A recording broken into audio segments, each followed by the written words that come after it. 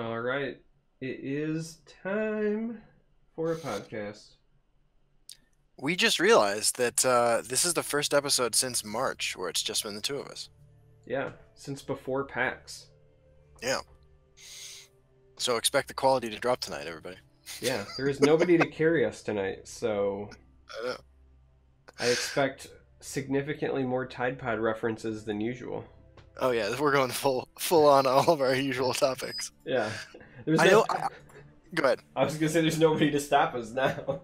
I know. I really want to get the uh, the hiking emirate guys on. I know they want to do it. They just live on like the the other whole side of the world or something. yeah, I know. It's the same problem I have with like, you know, we've we've never had Link on, but Right. you know, uh, Pi as well, right? Pi by Yeah. Pi. But being in Australia, their timing is kind of rough. Um, Right. Yeah, there's a lot of people still. Uh, I don't know what Matt's schedule is like, but Matt Yep. Oblivion is another great one That'd be cool that too. has not yet been on. Absolutely. You know what we could do? We could like do a contest and have a guest. Uh, have have a, a viewer as a guest. Usually, hear me out. Yeah. Usually, with a contest, it's something people actually want to win. Ooh, that's a good point.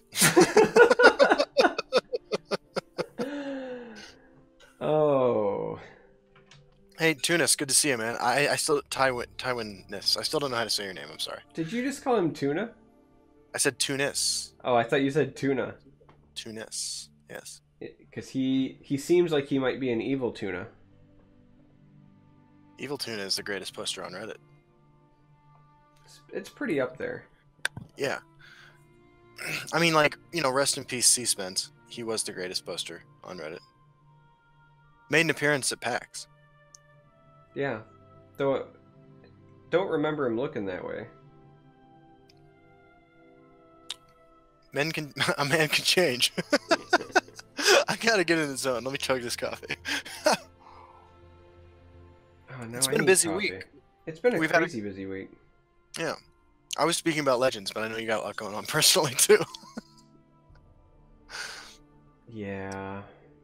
but So I mean, about with, Le- Legends, with Legends, we had, you know, with the patch last week, CVH came out and talked about the balance patch. The patch introduced some bugs, Mhm. and then they fixed the bugs today. Is that right? yes, today they were fixed. So Crusaders Assault is now working as intended. Nice. Not every bug is fixed, mind you. There are a couple other rather interesting ones floating around. Like what? Um, so, like minor PSA, Mechanar, if used uh, to create an abomination that contains an elusive schemer, and then I forget what the second part of the trigger is. I think that if then the elusive schemer trades with something else and dies, for some reason that ends with uh, both players' avatars exploding and the game ending. Like I guess I guess the last gasp part of the abomination where it shuffles the zero cost version in, like I don't I don't think that the game can handle it because it's not putting a normal schemer in, it's trying to put like a zero cost abomination version in and it like flips out. I guess That is awesome. That is Um, awesome. Like really like weird scenario but i guess it's worth knowing just because it uh you know may influence people's decisions if you don't want the game to end in uh like i don't even know if it ends as a draw or like both players lose or however that works but basically like if you use mechanar i i wouldn't recommend making an elusive schemer because it breaks things I'd like to try to recreate that one. Um, I went on a bit of a journey the last couple days. I talked about it on Twitter. I talked to you and CVH about my plans for doing this. Um, because CVH rightfully pointed out that I talk a lot of shit about aggro decks. And, and and let me be clear when I say aggro decks, I mean anything that tries to win before like turn turn twelve. like I, I've said before many times, like the games that I'm playing that I'm that I want to play with Legends are games that like my opponent concedes, or they let me get to turn 20 and do this stupid thing that I was trying to do. Um. So I challenged myself to play nothing but aggressive decks and I've been recording my experiences. So far, I've I've learned to play uh, mid-range aggro, whatever sorcerer. I've learned to play mid-range aggro warrior, and my most recent deck is Hlaalu, the Hlaalu draw all the cards in your deck haunted manor thing. Right. and I've had quite the experience. I've had quite the experience. As a guy who loves aggro, like, how does it sound to you to hear a guy who's been playing this game for for two years now tell you that he's learning how to play aggro? I mean, I'm just I'm just happy for you as a person. You know, you're putting Yeah. your prejudice aside. You are Yeah. trying new things, exploring. Um, I I mean, am. I I make I make no uh, effort to hide it. I enjoy aggressive decks, specifically ones with a lot of charge, but just ag- aggressive decks in general. I enjoy mid range. I actually think mid range might be uh, my favorite archetype to play, just because Yeah. it's I don't know. There's something satisfying, at least to me as a player, and recognizing you know when I'm the beatdown, when I'm not. Um, you know, Right. slowly but surely, you know, wrestling control of the board away from somebody and then using that to snowball. Like I really like mid-range sorcerer, especially uh, post Clockwork City and things like that, where we got extra tools like Barrow Stalker, post Forgotten Hero, where we got like Bleak Coast. That you know, I mean, it's a five-five for four, but you you get that little incentive for trading with the sleigh and so forth and things like that. And I just I think I enjoy the most playing mid-range decks that are like board centric and then generate value that way. But I do love me some aggro. There are there is something satisfying about you know, Yeah. un just unloading on somebody for like 15 damage in a turn and then drawing a bunch of cards with Ulfric's Housecarl. That's fair. That is fair. I will say this is the first time I've ever played Bleak Coast Troll. That was yesterday. First time Yeah? I've ever played that card. Yeah. Uh, you're right. It is very satisfying. I, I think about all the times that I'm trying to like, like grab any value I can out of uh, whatever garbage minion has captured my attention for a couple weeks. Uh, and then I compare that to the sensation I get when I, I it's turn three and I have the ring and I play Bleak Coast Troll, and I just like win the game and uh, the, the feeling's not really comparable. It's uh, quite a different experience.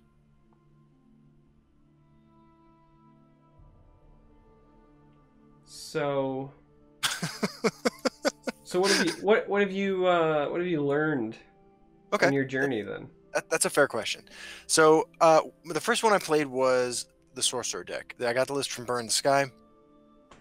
He's running a really purple heavy list that uh, features Stalwart Ally, a card that I was playing about two years ago. it's like the last time I played it, except in mono purple.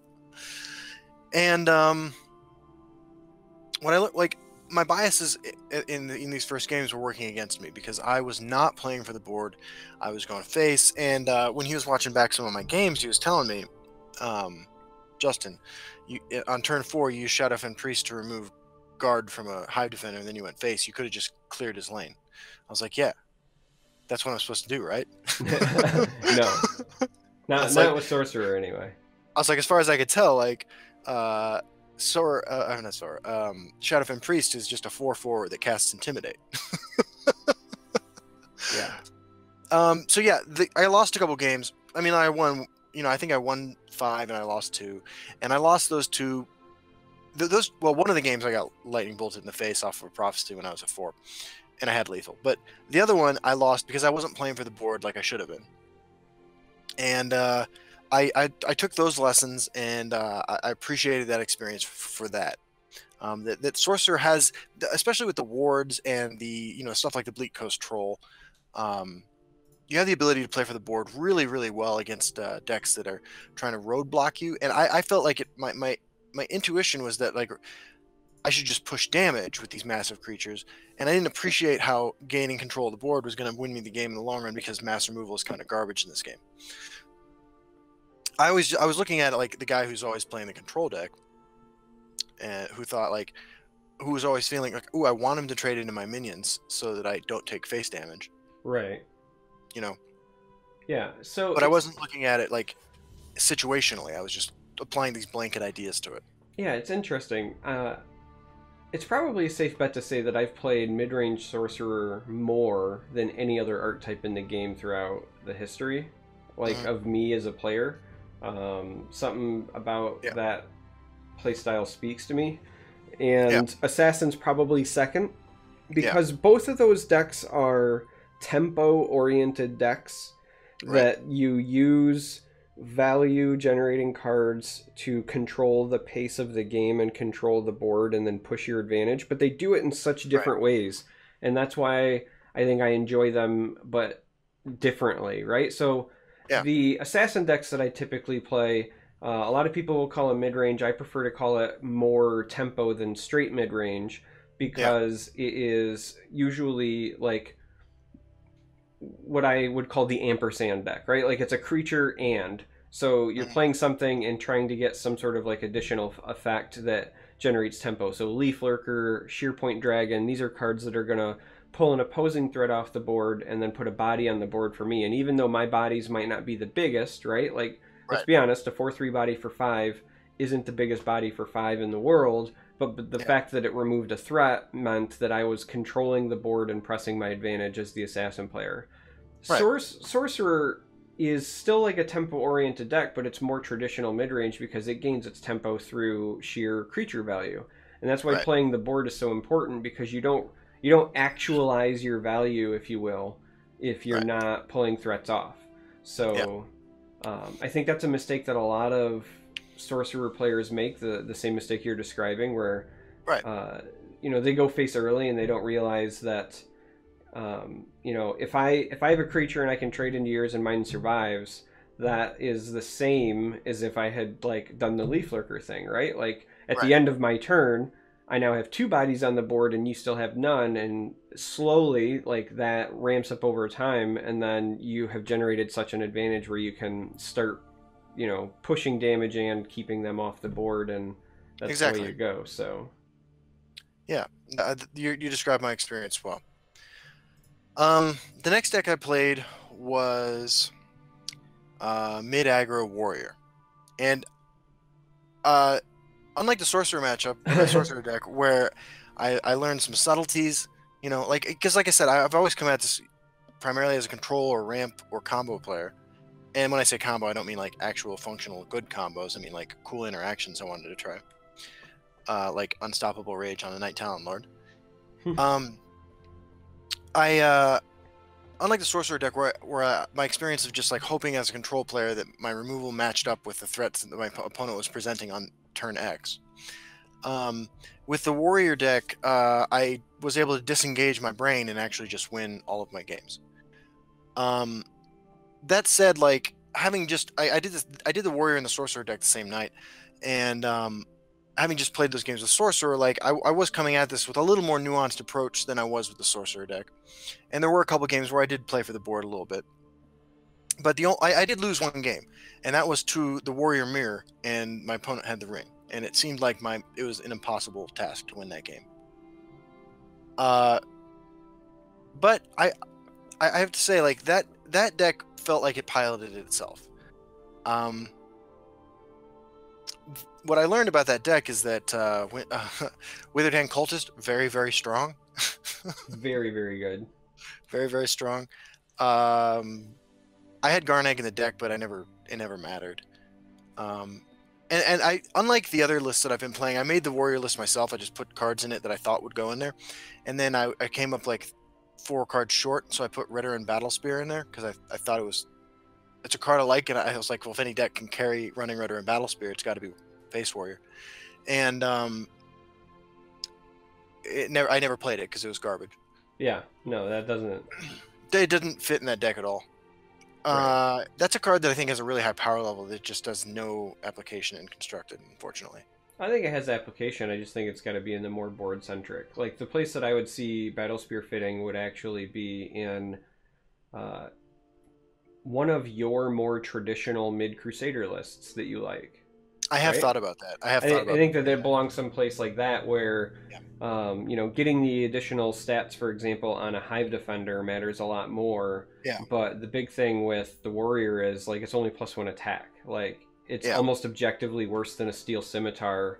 Right. Nine times out of ten, in that that aggressive Right. warrior list. So I, I mean, if I could run it as the only like, if it was a purple card and I could jam it in that spell sword deck I was playing last week, like I would do that in a heartbeat.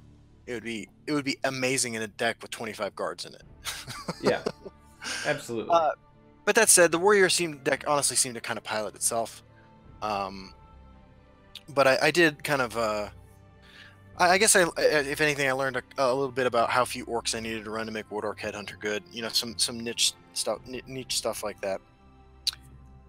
Um, and then I played today. I played the Hlaalu deck. I played the version with conscription, and uh, that I have to admit, I had a lot of fun playing.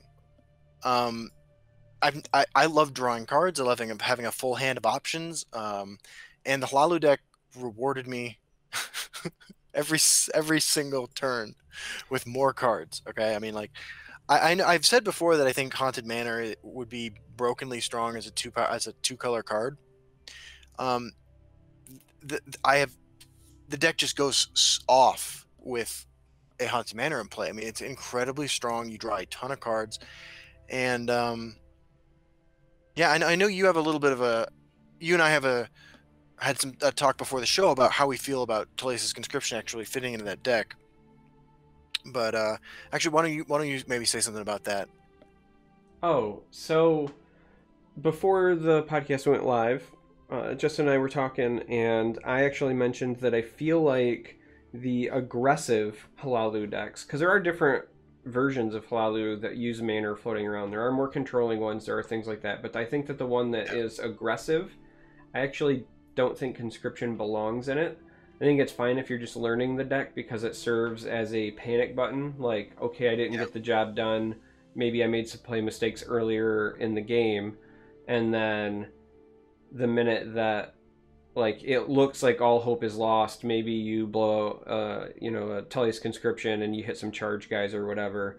Um, Yeah. But in a like refined list for you know, especially the aggressive one, like Yeah. ultimately, I don't think conscription makes it because you should be closing out your games long before then, especially with the card draw that Hlaalu has. Like you're gonna Right. fly through uh, your deck, and to be honest, even by the time you get to 11 Magica, if the game is still going, if you're playing it correctly and you've drawn all the cards you've been drawing, Yeah. there's a strong chance that like I don't want to play conscription because it's just not good enough.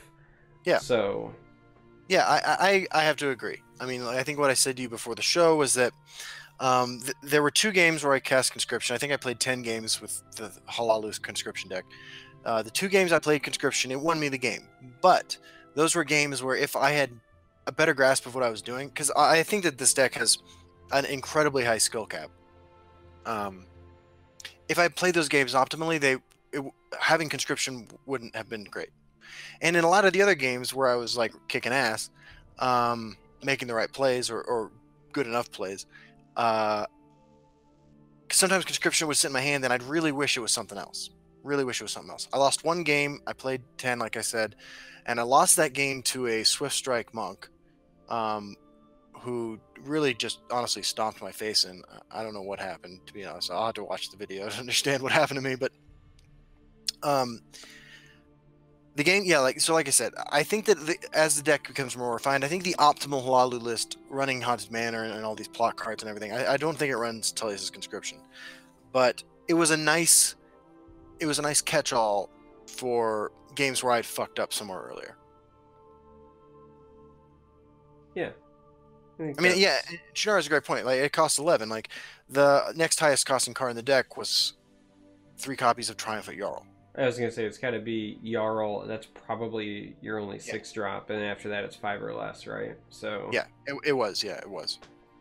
Um, but yeah, I, I, I honestly had a great time playing it. It's it's one of the most aggressive decks I've ever played that I really enjoyed playing. Uh, th- there are a lot like tons of different lines because you have so many cards in your hand, and uh, those one you know that one point of damage there matters, and that that one trade or not trade there matters, and because you're generating such an incredible amount of card advantage if you're if you're hitting all the right beats, um, you're able to play a really board centric game if you need to. And some games you can win on like turn five because like you know things worked out and your opponent didn't have the right answers. So it, it was very flexible and it was a lot of fun to play.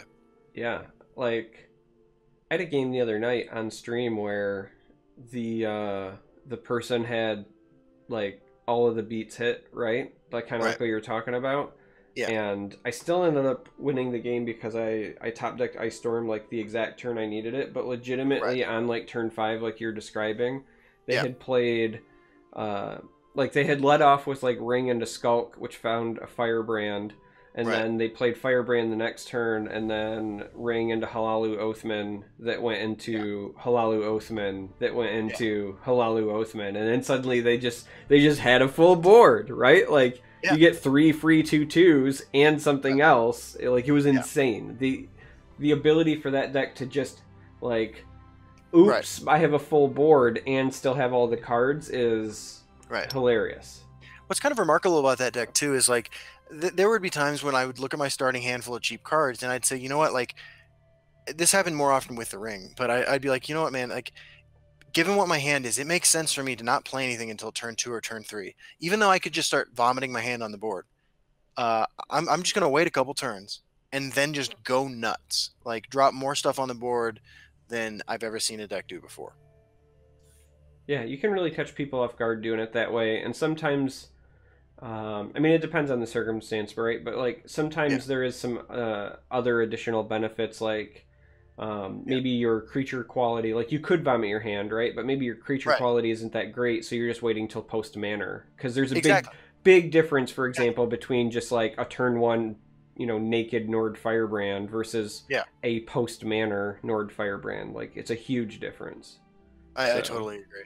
I mean, I I- I have to say, like, I think the deck's really, really strong, and I was not playing an optimized version of it, um, just because, like I said, and like you, like we we've been saying, I don't think Tullius conscription, conscription goes in uh, in the final version of this deck. I could be wrong about that, but it feels like it's unnecessary. That said, like if, if it's an archetype you're trying to get into, and trying to figure out, and you want to take it on the ladder, but you're inexperienced with it, I do recommend honestly running a version with conscription because it kind of will. Uh, it's like training wheels. And I will say too, like against like there are some hypothetical matchups where like I can imagine opponents who just hit all their mass removal over and over and over again. You know, I'm thinking of like a Telvanni deck that has access to Ice Storm and Drain Vitality, where conscription might be your only out. I can imagine that world. When so I know you said that you were recording. When is your video going to be out The Hlaalu video will be coming out tomorrow night. tomorrow? Because Yeah. I'm uh, I'm curious what your list was that you were running. Just Yeah, I'll uh, I'll send it to you. I, I stole it off Legends decks. Um, yeah, the Warrior deck I made myself. Burn the Sky made uh, my Sorcerer list, and I, I just pulled a Hlaalu list off of Legends decks. I would make some changes to it. I think that like I would feel more comfortable dropping down the Tullius conscription number to two. Um, Oh man, you were running three. I was. Look, wow. I, I you know I, I just honestly I just completely flat out stole the list. I gave credit in the first video, but I can't remember the dude's name now. Um I feel like three was excessive even for a guy who like got some value from it. Um but yeah, I it was an absolute blast to play. I didn't get to live the dream of uh triggering my Castellan into giving me a Dagoth although I did do that on the test servers. But um, yeah, it's a deck that I, I plan on playing more. And to segue into another topic of ours, I think it's probably a deck we should expect to see quite a bit of in the Gauntlet tomorrow. Yeah, I I mean I think that's fair. I would expect to see see that in is it is it a gauntlet? Is it the Grand Melee? I always forget what the naming conventions are, but Yeah, it's the Grand Melee. And Zombie Hunter 9x19. Yeah, I thought that was funny too. He sent me a message afterwards, actually. Um, I love that name. I played against a guy, Charmer, the other day whose name was their email address. Like, obviously, while registering their account. You know what I'm saying? oh, It was like something something at gmail.com. I wonder how many emails they get. Like I wonder if they did that on purpose as a social experiment. I don't know. About 3,500 people now have his email address, so. Yeah. that's that's interesting. Yeah. Yeah, so we get a melee with some sweet alternate art new card, right? Morkul Gatekeeper. Morkul Gatekeeper. Now, Yeah. I was thinking about that card because there was a time, if Yes. you're if you're new to the Legends community and you didn't play during uh, open beta or closed beta, uh, there was a time when that card was I'm not gonna say unplayable. I played it a little bit in arena, but it was not in any constructed decks at all. No. Like it was seeing uh, essentially zero constructed play. So it's it's interesting how far that card came from Yeah. one minor buff that it got. Um, just because like now not only are we getting alternate art versions of it, but like we're excited and I've been playing it a Right. ton. So if you're not familiar, the card used to not have the word prophecy on it. That's right. And then it got prophecy added right around the same time Madhouse came out because they were trying to push the orc archetype a bit more because right. it was in Right. short succession that that got prophecy. May have even been the same patch, I don't remember, but I remember that got prophecy and then we got Yeah. Stone Shard orc. Yes. So That's when I fell in love with orcs after hating them in closed beta. yeah, well everyone hated them in closed beta. uh, yeah, I, I love the alternate art Morkul Gatekeeper. I think it's cool. Um, no pun intended, actually, although it's the kind of thing I would say. Yeah. uh, I think it looks really great. Uh, I, I like how they're they're continuing the tradition of giving us these staple cards, these staple core set cards with alternate art. Although it is funny, like you mentioned, that for a long time this card saw no play. Yeah. It also makes me wonder what the next ones could potentially be. Because so Yeah. far, now that this will be the third one, right? We'll Right. have willpower represented with Javelin, Right. intelligence represented with Lightning Bolt, Yes. Morkul Gatekeeper represented with strength. So we have two attributes left, assuming they stay on that pattern. And as you said, they are staple cards, and I'm kind of curious what you think the next ones would be. Well, Farion nails it in chat. Uh, I, th- I think for for agility, it's got to be Fighters Guild Recruit because these these are three like iconic prophecy cards, and I think Fighters Guild Recruit is the iconic prophecy card. Yeah. I mean, like I, you, you could make the argument that uh, Moonlight Werebat, like there have been, I think Moonlight Werebat's a good card. Um, I think it's probably a little underplayed, but uh, since it got nerfed, you know, a year ago, it, it hasn't seen nearly as much play. You can make the argument that Moonlight Werebat would be a great one, but I, I think Fighters Guild Recruit has to. be Well, the the other thing you have to remember is all of these have been commons so far as well. Oh, I didn't think about that. Yeah, so I think Fighters Guild Recruit is the no-brainer for a couple of reasons. One, like Yeah. you said, all three of the other ones are not just staples, but they also have prophecy. They're Yes. all commons. And Yes. let's be honest here. Can you imagine any world where agility gets an alternate art card and it's not Fighters Guild Recruit? Like Pete Hines is going to be Exactly. calling somebody. If you guys don't know, Pete Hines' favorite card in the game is Fighters Guild Recruit. Right. Uh, he would be on the phone chewing somebody out. No, I mean he's a nice guy. I, I don't think he would actually do that. But in my in my mind, I just imagine him like having a meltdown. Where's my Fighters Guild recruit? Exactly. Yeah, but uh, that does leave the question of like, where do you go with endurance, right? Because Yeah. it's the color with the weakest prophecies by a significant margin. Um, in fact, I don't, I can't even, other than Mummify and Lurking Mummy, I can't even. Oh, and I really like Bonewalker, the new, the Yeah, new prophecy. these have Um, all I- been core set cards though, as well. Right, right. So this is interesting because with endurance, they either break the prophecy chain Right. or it's it's lurking mummy, right? Like because it's got to be a common as well. Well, is Fharun Defender a common? I'm actually having to That launch that, Legends right that now. one is a common. It could it could be Fharun Defender. I remember saying at one point, like, I guess a fair a fair while ago at this point, but I remember saying at one point that Fharun Defender is one of those cards that, like, when it showed up, would like always hose me. But this was before, God, this was before of Revenge when I said that. So times have changed. Yeah. Well, like the look of a warrior deck has changed significantly. But I'm trying to. I'm looking up prophecies. Yeah, I mean, assuming it sticks to the same themes, it would have to be one of those two. And the only reason that I wow, Yeah, there are only three common prophecies in purple in the core set: Fharun Defender, Cursed Spectre, and Lurking Mummy. oh, I would love a spooky ghost. I'm not gonna lie, that's a card I think Yeah, Cursed didn't. Spectre's not did- bad. Yeah, I was gonna say it didn't get the love that it deserved back when it was just core set. Like Yeah. there were a couple of decks that would run it, but the Yeah. card was way overshadowed by Shadowfen Priest at the time, sadly. Yes, yeah. Which is crazy because back then it's not like we were actually removing supports except for what Dark Rift. Yeah, basically. But Yeah. it was it was honestly it was because of the body. right. Like, there's a exactly, big- because One one magic or more, but I double the stats. Like that was huge. right exactly. Oh, you know, I kind of an aside, but that just reminded me of something. I was looking at Cursed Spectre, and it's a spirit. I didn't realize today when I was equipping Dawnbreaker to something that that five four blue creature that shackles itself. Yeah, that's a spirit. Yeah, yes, it is. that is a spirit. yeah, that's that's my r- random other thing I learned today while playing House Hlaalu. You, you know I what I else pl- is I a spirit? What's that? The new wolves from the monthly card. I know. They're good undead doggos. Third alternate art for Stone Tooth Scrapper is Ian Bits' suggestion.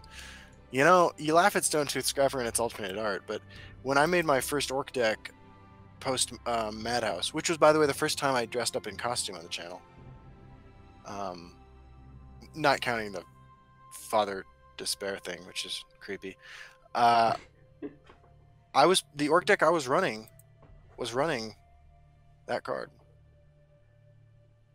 Stone Tooth Scrapper. It's not an unreasonable body. I mean, it's been totally outclassed by some stuff since then, but at the time, like as far as four drop creatures go in core set, I think it actually its stats are unmatched by anything. Yeah, I yeah, mean- it is. It was it was a nice yeti for a time. It was. And that's a really good. That's a really good analogy because when Hearthstone's core set was out- uh, was out, Yeti was a card that was played and constructed. And I only bit. know that. I only know that because I was watching some old Firebat video the other day. Yeah. So, do you think you'll play aggro tomorrow?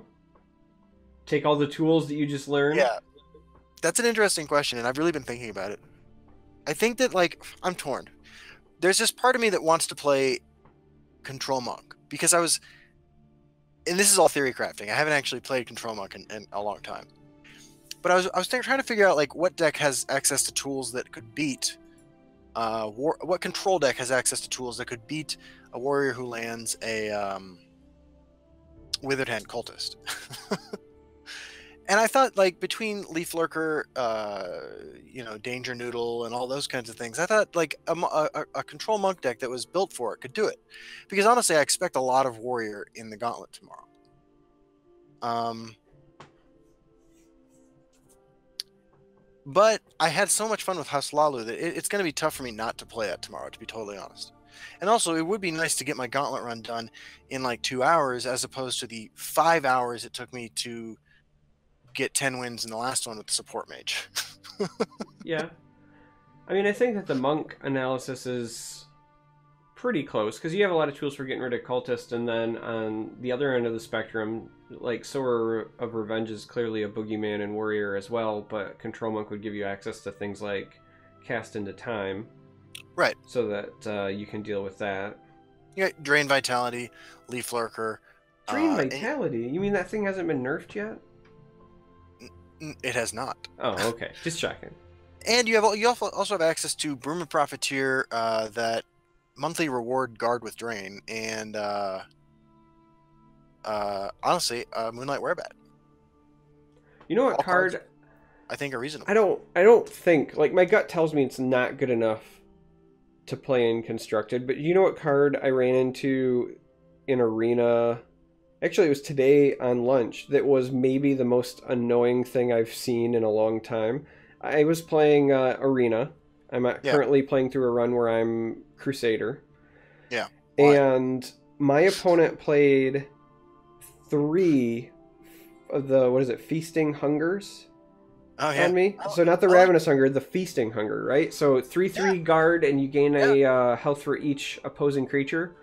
Right. Legitimately gained like thirteen health from those, plus Yeah. traded. Like it was. It was significantly more effective than I was expecting it to be, Yeah. Um, again, probably at the moment still not quite good enough, but as I think about things like if Hlaalu became like super meta, or if like tokens make a big comeback, that that Yeah. card is really good against those, in my opinion. It's interesting. Hlaalu runs no removal. Yeah. It run it runs some silences. but yeah. Uh, I agree. I, I that is an interesting, and it's another one of those cards like Red Ring Battlesphere that makes me want to play like mid-range life game Crusader again too. Yeah. Um, Ian Bits mentions Ebonheart Oracle. Uh, yeah, no thanks. You don't you don't like Oracle? I mean, look, I uh, I retired my Ring of Namira combo deck with a hundred percent win rate. Despite losing the last one, it was it was actually a mirror match in, against another deck, another Ring of Namira combo. I mean, like inexplicably, like in like low ch- percentage chance of that happening. It happened to me, and uh, I lost. But Ring of Namira combo won that game, so I'm counting that. Um, I, I just don't think that card is good enough. I think that it I think that it can be good if it's just paired with burst healing. And I think that the biggest problem is that right now uh burst healing has been like unfavorable for whatever reason, right? People aren't running Knight of the Hour anymore. You know, Healing Potion was two years ago, the last time that was like really in the meta, um, things like that. But, you know, if I were inclined to run, let's say, the Hungers, you know, being able to pair an Ebonheart with it, if, you know, if my opponent's got like six creatures on the board, you know, Right. suddenly I drop something with drain, I drop a guard, and I gain like twelve health. That's a that's a pretty big deal against an aggro deck. It, it can be, yeah. But I feel like, you know, it, it's sort of like. So it's interesting. When I started playing Legends, like I went into it with the idea that because my background was primarily in Magic for whatever you know, which wasn't even that extensive. But you know, I played Magic in prison, and like I, I'd played uh, for like nine months after I got out of prison, before I broke my leg. The night of my first PTQ, by the way. Anyway, that that story is actually true. I my injury did get keep me from going pro, but uh, like a football player, but for card Yeah, exactly. games. exactly. Um, but I, you know, in Magic, you kind of learn that like life gain, like unless it's like incredibly excessive amounts of life gain, is like you know irrelevant. It's not it's not a winning strategy. That's sort of just like something that like was drilled into my head, like reading Channel Fireball articles when I got out of prison. Um, so I, I approach Legends with the same mentality, and I've found that like you're you are right to an extent. Like gaining like massive like 13 life or something like that off of a single play, like that that could that could win you the game in in in a way, right? But it's still hard for me to shake this idea that like that life gain might be better suited as like removal. No, it's not prison story time, Shinar. Although I'm sure we'll get to some. yeah, I mean, I guess in my head it's just pseudo removal because Yeah. you gain the life, which buys you a turn to find removal. But similarly, like when you pass the turn back, if they don't have enough for lethal, they're gonna have to get rid of the Ebonheart at that point, some way, somehow. You know what I mean? So Yeah. Um, Don Wheel, I played.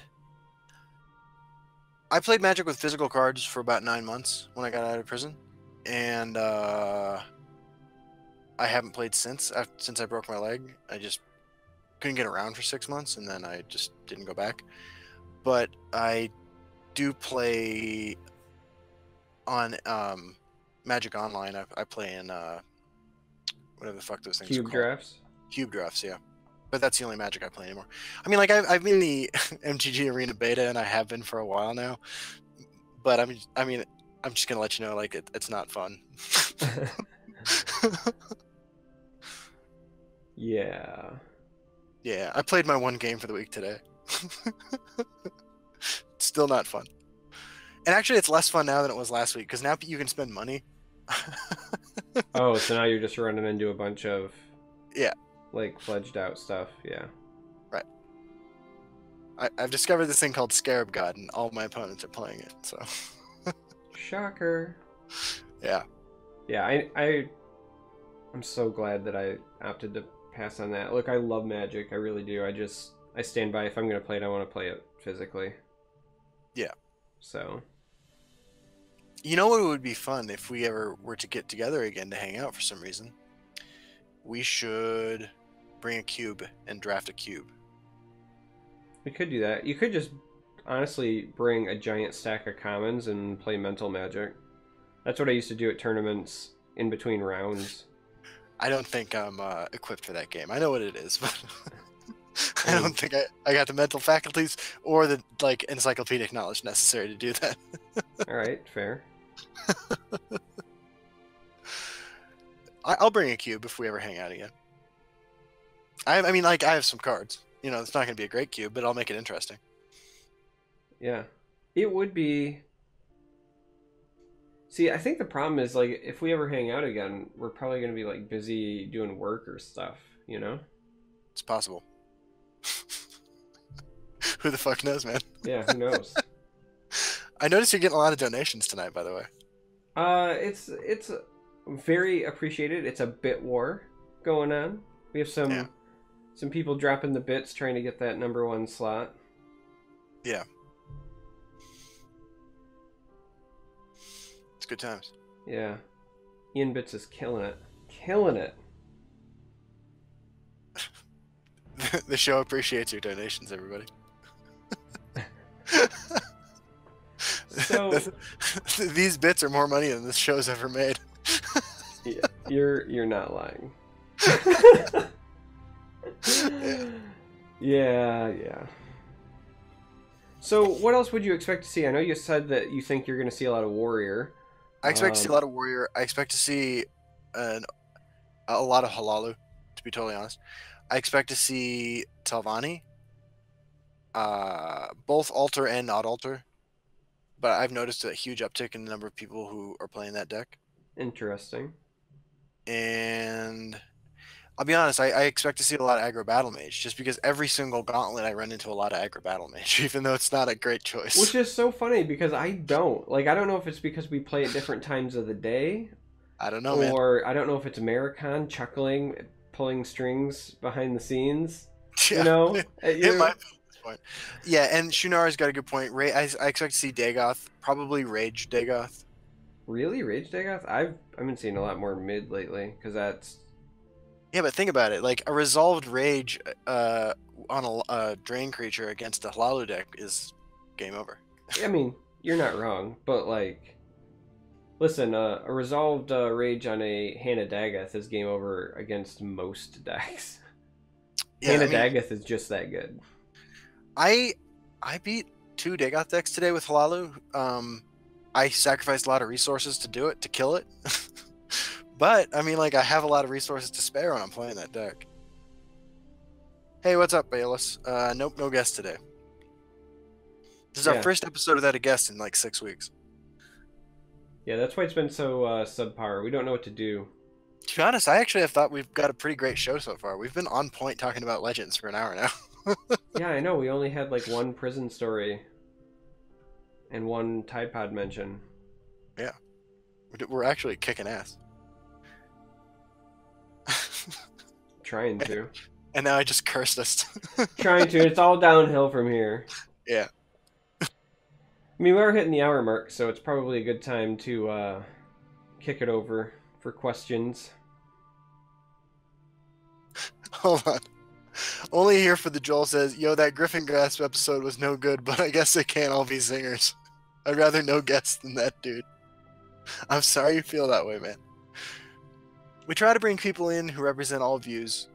Uh, Yeah, I mean, if everybody just agreed with Justin and I, then what fun would we have? that's right. You know, I, I was thinking about this the other day, actually. Like, in some ways, you and I are very, very similar, and in some ways, like, we are total opposites. Yeah, I mean, that's fair. Like we There- make for a good good team because we work together well about the similarities, but we make for interesting conversations because we have such differing opinions. Yeah. Like, when I say if everyone agreed with Justin and I, the truth is, in our, uh, in our offline conversations that happen entirely online, but, I mean, you know, off the podcast, That's true. Uh, Even though I, I have your phone number now. Yeah, it's uh, it's just mostly us disagreeing. It is. we just get it all out of the way there. Yeah. But they're good chats. No, yeah, they're great chats. Yeah. But I mean, you know, not to get like too mushy or anything, but that's like that's a sign of like a solid friendship, right? Is like an ex- a, a, a frank and honest exchange of ideas, where people's opinions are changed if one side presents a persuasive argument. And let's be frank, like too, it's usually me whose opinion has changed because like I I react very emotionally to things. Like I am that that guy like who is, I you know I act on my gut and I I act on how I feel about things before I consult data. But I'm also a responsible adult. So, like, when presented with a compelling argument for why my feelings are wrong, I change my opinion. Yeah, well, and also your feelings aren't necessarily wrong. It's just that sometimes your feelings are not taking into account things, and I do the exact same thing. There's a lot of a lot of things that I do based on emotion. I'm just slowly but surely trying to change myself into being a robot so that uh, eventually when my consciousness is put in a machine i'm accustomed to that lifestyle Dude, speaking of which, have you seen both episodes of Westworld? uh, i have yes Dude, that show is so fucking awesome. yeah it's solid oh my god, I can't wait for for Sunday's episode. No, y- guys, Griffin Guest was a great guest because he he brought a lot of a lot of different opinions that we wouldn't have had on the show if it was just Charmer and I. Uh, and he's welcome back anytime. And uh, I, I yeah he's not even the first person to be like No. contentious And I- did you guys like- see that episode with that ian bits guy like holy shit talk about Yeah. something that was a dumpster fire i mean oh hi ian bits welcome to the chat Gyro Captain asked Justin, "What was that Hlaalu deck you beat me down with earlier today?" Dude, I am so sorry, man. Uh, well, you'll you'll be in a video tomorrow. Let me put it like that.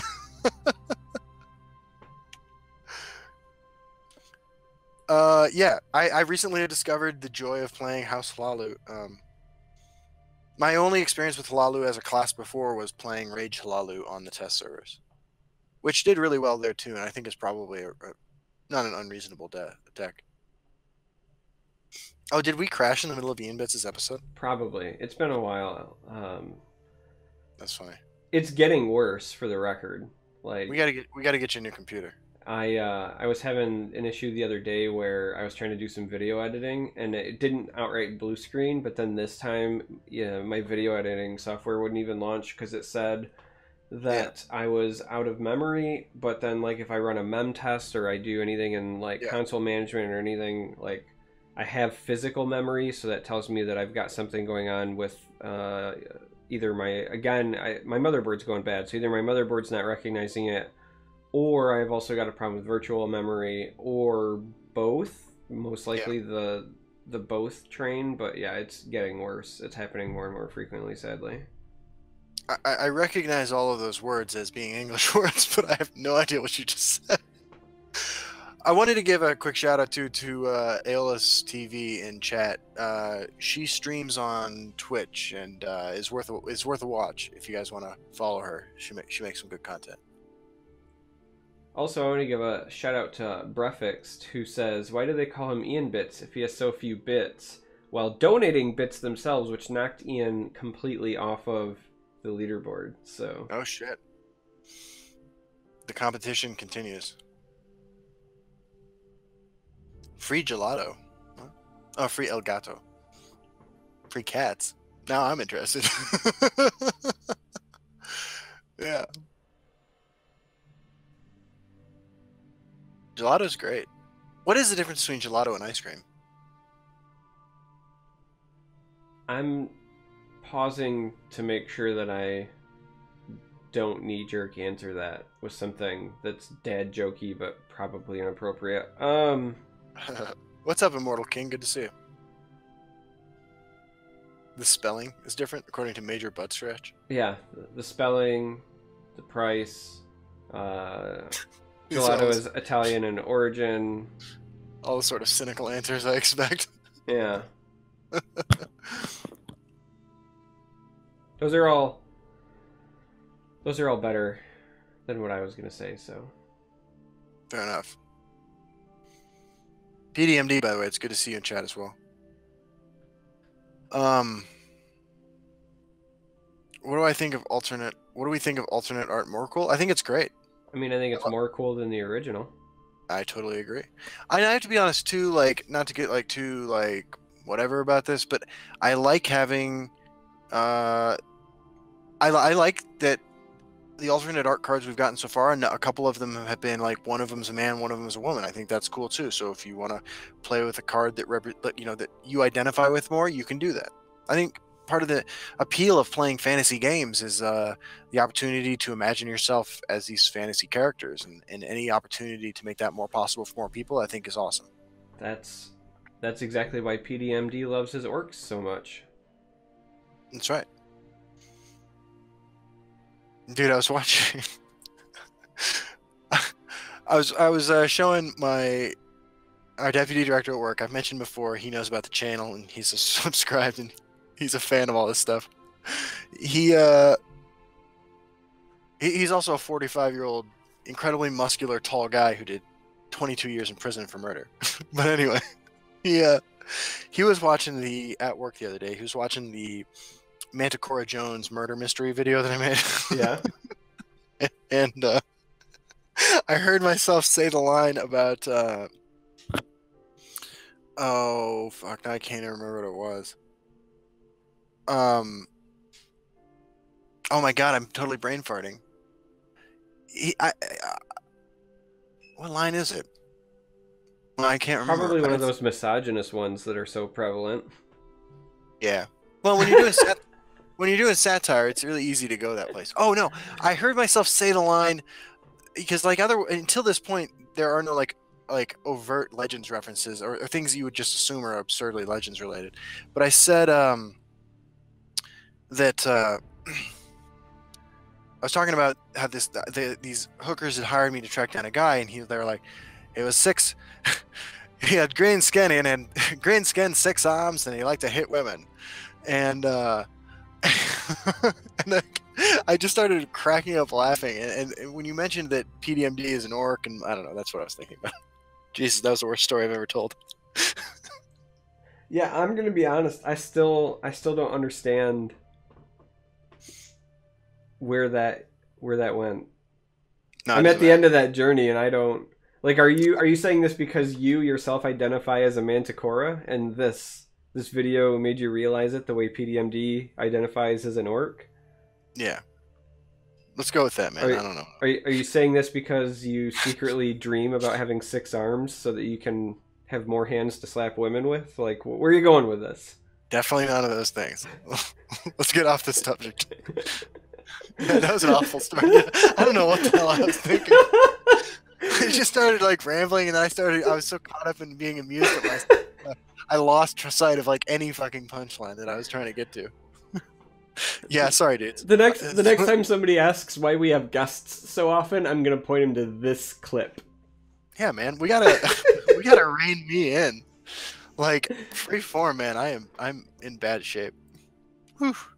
It's been a long week.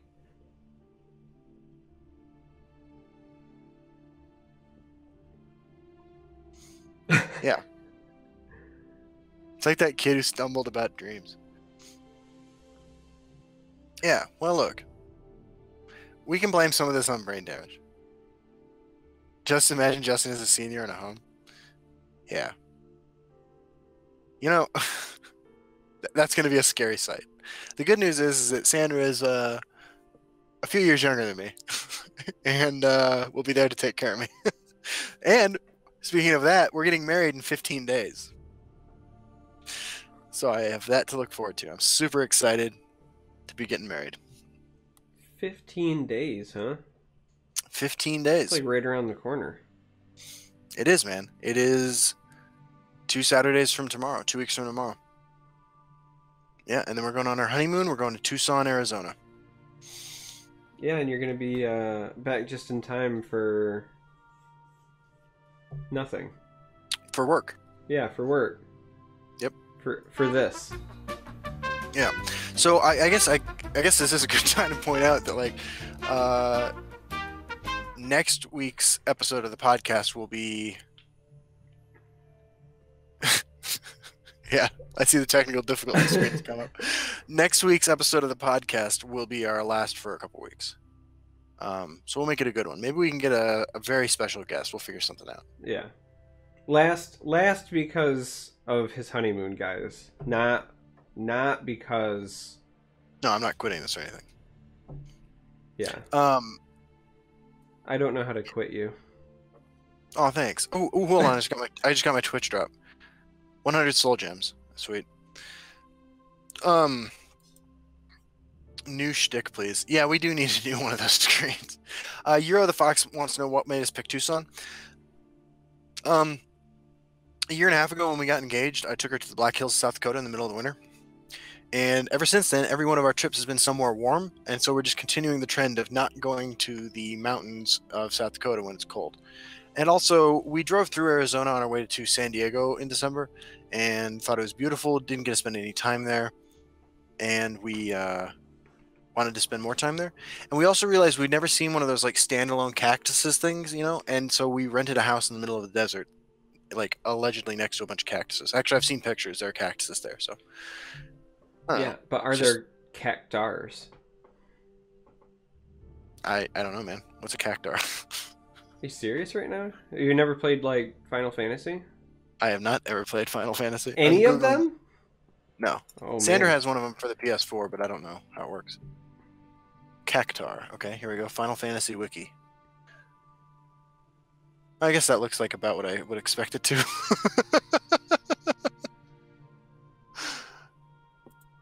no.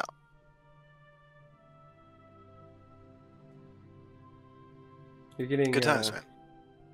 You're getting booze in chat for not knowing what a cactar is. Yeah. I feel like I've, I've explained enough of my life story uh, on this podcast for the last 31 episodes for people to not be shocked that I don't know what a cactar is.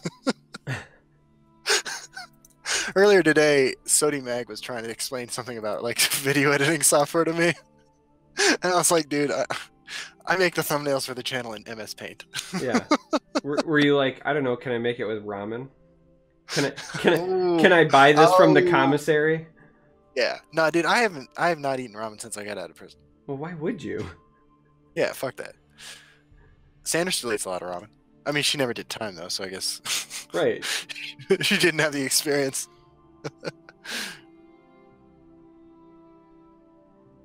Good times. What did I think of jailhouse lawyers? Uh, like, is this a joke or actual jailhouse lawyers, like the guys who thought who spent all day in the uh, in the library?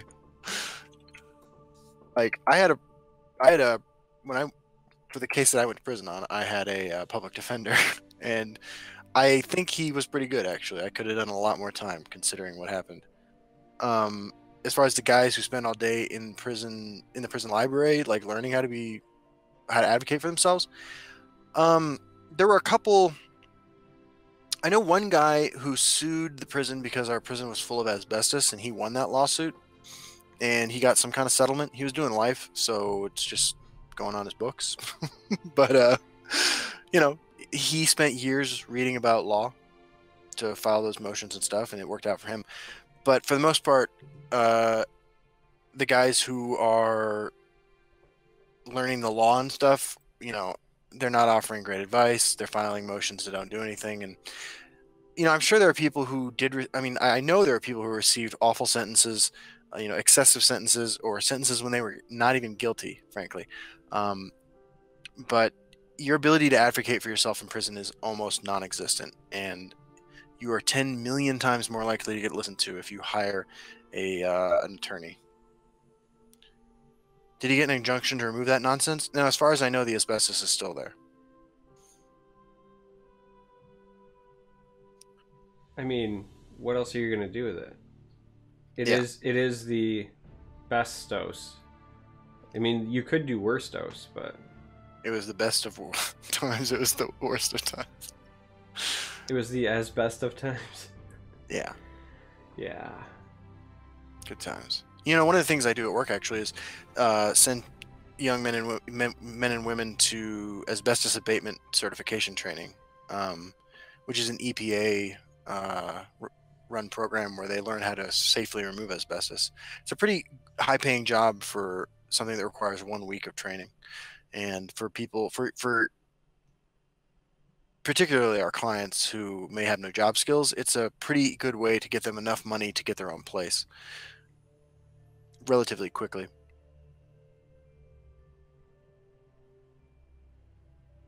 Ooh, Aeolus wants to know if you're a dad. Am I a dad? Uh, yes. I I am most certainly uh, a dad. I know of at least two children. There could be more. Um, certainly, a lot of people call me daddy. So, Nice. yeah.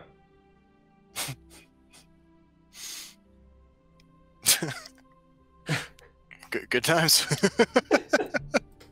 I really do actually get that. Like that's that's that's what I think makes that joke funny.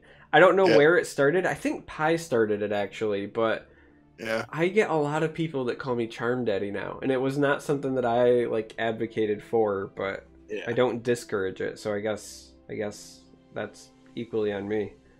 I remember the first time somebody on like one of the YouTube comments called me dad or, or something like that. And I was like, Sandra, what the fuck is this? She's like, Oh, that's that's a millennial thing. I'm like, what? like calling like I don't know. It was strange. Yeah, We should take some questions from the audience. there hasn't been like I opened that up. Oh, did we? Yeah, like 15 minutes ago. We're we're in the interactive part. It's just Oh. we're, we're just kind of rambling. I maintain though this is actually our best episode ever. I, I firmly believe that at this point. We'll see if we can totally derail it before it's over, but our best ever. I don't know if I can go that high. we've had some pretty good ones. But I'm I'm, I'm excited about this. Yes, this. So in, in case it hasn't been like made clear, this is the part of the show where you can ask us about legends, about other games, about anything at all, and we'll answer your questions. I'll ask you a question, even though I already know the answer, but I'll publicly ask you. oh, fuck. um, when that Phageborn game comes out, even though I fully suspect that it probably won't be like terribly awesome, Yeah. um, it supports 2v2. yes. So I want you to be my Huckleberry. Yeah, absolutely. I I remember you asked me on Twitter the other day. I'd love to do that, and we will do it. I mean, a card game with 2v2. All right, it'll even if it's junk, like I'll give it a try. Yeah, man, absolutely. I'm excited to try it. I'm always down to try new games. Um, I finally won my first game of Stellaris not too long ago after investing about 30 hours into it. Nice. Does that mean you can move on to Frostpunk? I want to hear your feedback on that. Yeah, I do need to get that. I, I'm kind of like holding off just because I'm about to leave town for a couple weeks on buying anything. Um, but yeah, I will. Uh, I'll definitely get that when I get back. It's great, man. I, I just go ahead. Oh, I was gonna say somebody asked why aren't the two of us casting Warp Meta. A lot of it for me is uh, scheduling problems. They start, I, if I remember right, because I've been asked in the past, and I always say I would love to, Yeah. um, but usually I, if I remember right, they start like an hour, maybe an hour and a half or something like that before I'm like readily available. Like there's a reason I stream so late at night, and it's not because I enjoy it. It's because that's like the soonest I am available. Yeah, I uh, I'm a caster for the Elder Scrolls Championship series, um, and that kind of a man can only commit so much time. Yeah. I I was also invited to do that. Um, but again, like it's just my schedule kills me. That one being on Sundays is usually when I'm looking at houses and or having open houses uh, as of Sweet. late. Speaking of casting, I I see Schwitty in chat. Schwitty and I have cast uh, tournament games before together. It's good to see you, buddy. Yeah, Schwitty's a fantastic caster. Ian Bits did a great job for Warp Meta. I agree. Um, we actually, you know, it has been said recently on Reddit that our game doesn't have enough content creators, and I could go either way on that. But I will say that of the ones that we do have, um, we have we have a lot of high quality ones, in my opinion. So, people with uh, great game knowledge, people with great voices, like I cringe when I hear my voice back in anything, but we have some people with uh, good radio voices, I think. Yeah, I, learning like what my voice sounds like um, has been like a pretty eye-opening experience doing all this like legends videos and stuff. Uh, I'm really used to it now, so it doesn't catch me off guard. But you know, like there is that moment where you're like, oh my god, I don't sound recorded at all like what I sound like in real life. Like my new microphone, this fancy thing that like I can't use for some reason through Discord. Um, it sounds a lot more like I hear myself. But yeah, this headset's a piece of garbage. Ooh, so uh, Gyro Captain Yeah. has a great question. How much time do you need to create content? Oh, um, well, I would say that YouTube, about half of the games that I record end up on YouTube. Um, so if I release an average of like half an hour of content a day, you know, some days it's 15 minutes, some days it's an hour, but on average, like half an hour content on YouTube a day means I'm filming for about an hour, uh, for every half hour I put out. Um, editing goes pretty quickly because like I, I do the same thing to every video at this point. Um, projects like the you know the five minute video the murder mystery thing that took about four hours to make. Um, both for traveling and for filming on location and then sandra edited that. But for the day-to-day videos like i, I edit those. Um, then there's also the social media presence. Like i try to post something encouraging like on twitter and on reddit like every day even if it's just congratulations to someone. I think it gets you know both keeps my name out there and uh, i think improves the overall experience of playing legends which i think like indirectly helps my channel out. Um, i reply to personal messages and emails as often as i can. That takes maybe 20 30 minutes a day. Like i spend a lot of fucking time doing this. Yeah, I was gonna say I I have similar things, although I think my video making time is longer. Yeah. On average. So I just recently started trying to get in the groove of making sure that I'm doing uh, a video a day for YouTube. So a lot of what I've been posting lately are what I call deck testing, and that's simply I play two games, win or lose, and I put the results up, and those are all the games where I'm like trying a new deck list or just checking something out. Um, and those are uh, again, you know, if it's like a 20 minute video, it's probably, um, you know, it's like the 20 minutes to record it, and then there's a little bit of editing I do and, and so forth. So those ones are relatively quick. But for almost any of the other videos I do, specifically like uh, the deck spotlights, those take a significant amount of time because I'm editing like the cards that appear and disappear and the placement and whatever. Like I'm working on one right now for my Ultra Assassin list. Um, and that will end up taking me like between four and six hours start to finish to edit because i put like the legend soundtrack behind the the video and there's all, all these like little things that probably nobody notices and or cares about but Yeah. I notice it and it would annoy the shit out of me so yeah um, yeah, so my videos, uh, unless it's the deck test ones, tend to take a little bit more time. Um, I also Yeah. try to stay active on social media. My Reddit posts usually are novels, so they take a fair bit to type. That just depends on whether I'm on mobile or not, and whether or not I have to uh, type and then delete it, and then type and delete it, and then finally submit the positive sounding one where I didn't chew somebody out because I delete all those. Um, Yeah. Yeah. Uh, Gyro's follow up question is: uh, Do you guys have editing backgrounds? Did, do you did you learn editing at your uh, previous career at the penitentiary? Turns out janitors don't have a lot of need for uh, editing techniques or or or uh, or insight. No, Yeah. look, man. Here's my career path. All right, I I, I, I was a uh, soccer ref in high school, and then I worked at Blockbuster, and then I I, I- sold drugs, and then I was a janitor, and then uh, I was a GED tutor, and then I worked at a homeless shelter, and then now I'm a therapist. Yeah. no no editing background whatsoever i just make this shit up as i go sandra is like you know knows a lot about art and and uh, about editing software and stuff and has taught me everything i know. And also i asked questions in discord during open beta. A lot of people walked me through how to use obs and stuff. Yeah, I I'm semi similar in that I basically had no previous experience. The only experience I had with any sort of editing prior was in creating online courses for one of my like uh, educational jobs that I held before, but almost everything that I've done start to finish for my stream has been me teaching myself how to do it, whether it's video editing, uh, image editing, uh, streaming like with OBS stuff, video recording, the art stuff that I make like with my logo and uh, backdrops in my website and I mean I had previous experience with websites and whatever, but never like making my own. It's always been like work oriented stuff. So yeah, it was a lot of bumpy self teaching. Yeah. Uh, And for some timeline insight here, I was working at Blockbuster when they were starting to stock DVDs. like, uh, I- I was, uh, you know, we had a bunch of VHS tapes of Blockbuster.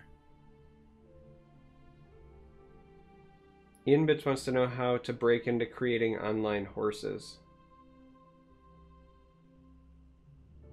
I, I honestly have no idea how to answer that question. Yeah, I don't know if I don't know if that's like an autocorrect mi- uh, mistake there, yeah. but uh, yeah, I also would like to know how to create online horses and then put horse armor on them. All right. Who sings the best version of Who's Gonna Ride, ride Your Wild Horses? Um, I don't know. Okay.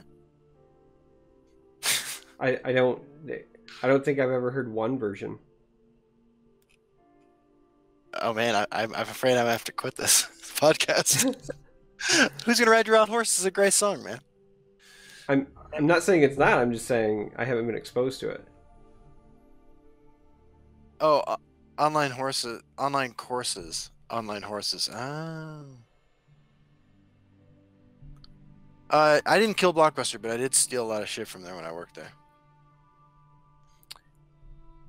I understand now, Ian But So he uh, he heard my online courses as online horses. Gotcha. These are some of the most interesting questions anybody's ever asked our show.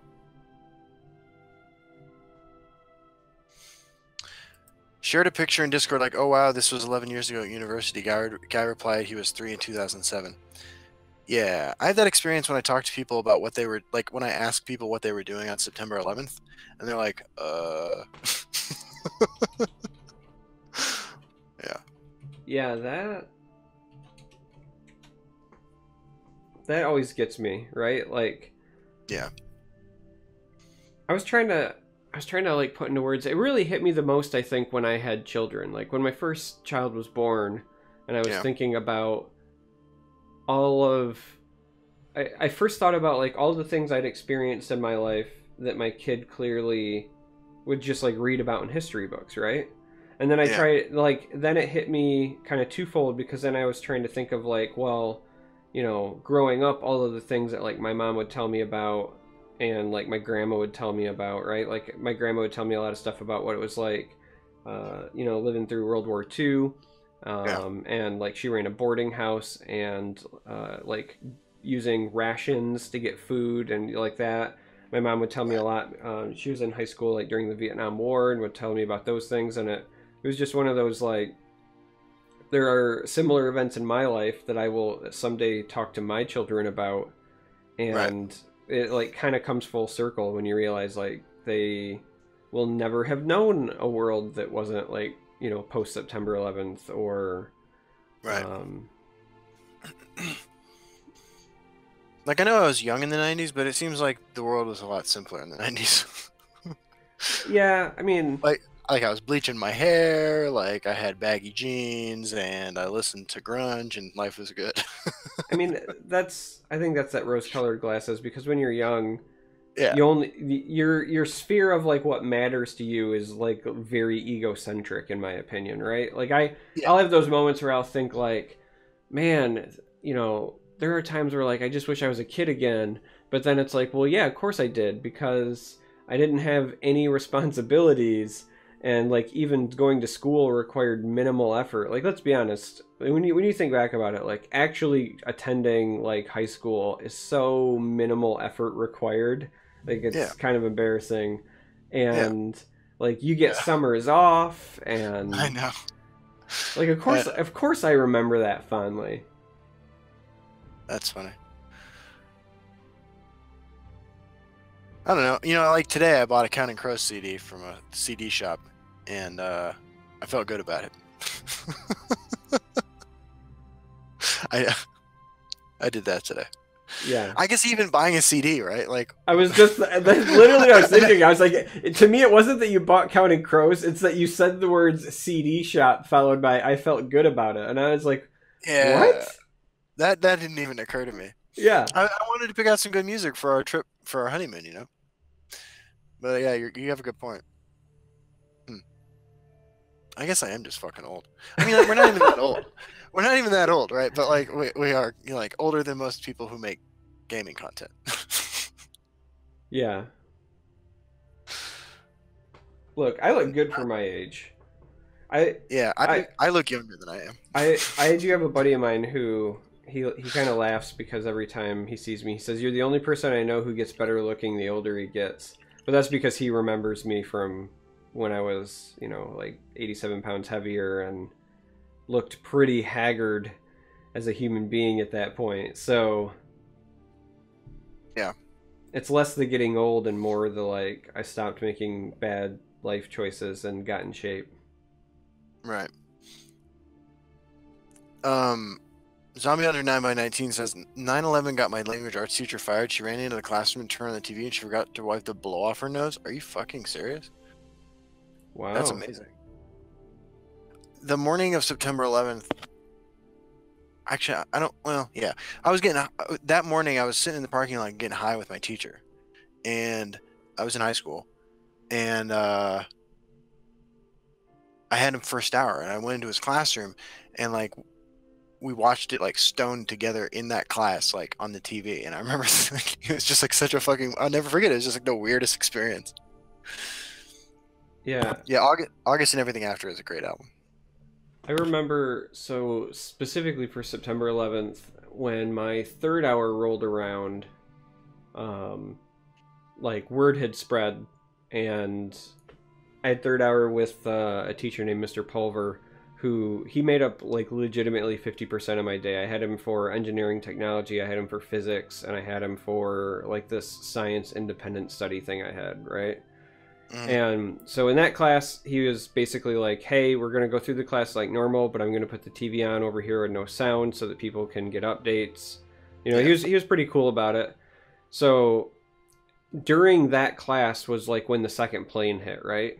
And it was just like one of those surreal experiences where you know you see something live like that and it doesn't even like register right away what you just saw and I remember very vividly. So I went from that class to uh, what was like the equivalent of an English class afterwards for my fourth hour, and this was with a teacher named Miss Withy, and she was like every mean old tenured stereotype you could imagine in a one teacher. Like had a beehive haircut, um, was like short, uh, wore glasses, kind of looked like uh, she needed to you know exercise uh, the ghosts in Poltergeist. You know what I mean? Like Right. one of those. And I remember very vividly, everybody came pouring into the classroom and said like, "Hey, can we turn on the TV?" You know, a- another plane hit. Like there was all this buzz. And she said, uh, "No, we're not going to put it on. We're not going to talk about it. It doesn't affect you." What? Yeah, that that that was her words. And then I walked out. I walked out and I went. I just went straight to the office because I knew that she was gonna like report me anyway. So I just walked straight to the office and sat down and said, "I'm not gonna sit through that. If somebody has a problem, uh, we can call my mom." And then my mom ended up calling anyway because like 80% of my family's Marines, and she was calling like distraught and blah blah blah. But uh, yeah, That's like I, I literally just walked out. I was just like, "Well, I clearly don't need to be here because." Yeah. I'm not going to learn anything of value because I'm going to be distracted anyway, right? Like when when you have an event like that, like I remember again talking about things your parents tell you, right? Like I remember my mom telling me like when The Kennedy- Challenger. Like, well, like Challenger, right? But like when Kennedy Yes. died, like she was like the entire school went home, right? Like Kennedy got shot, they just sent all the kids home because they were basically like nothing's going to get done for the rest of the day. You know what I mean? So yeah, it's just one of those Yeah. interesting experiences that you'll always remember. Did the Challenger explode? Uh, 86, I think. Oh shit, we were alive for that. Yeah, I can never tell when anything. I know. happened. I know that it's been in my lifetime, but I also I know that I was. Uh, Yeah. I did not see it live or anything because I was too young for that.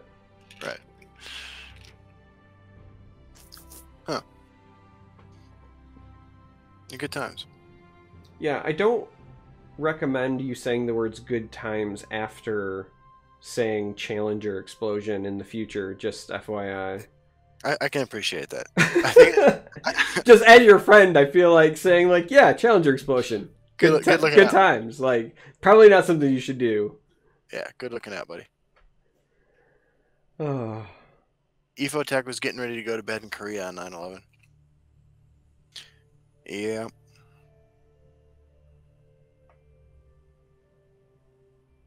It was definitely a big one. I mean, we didn't watch, we didn't do anything all day in school. Like, you know, I was living in Central Time. Like, the f- the time between the two planes hitting was when school started.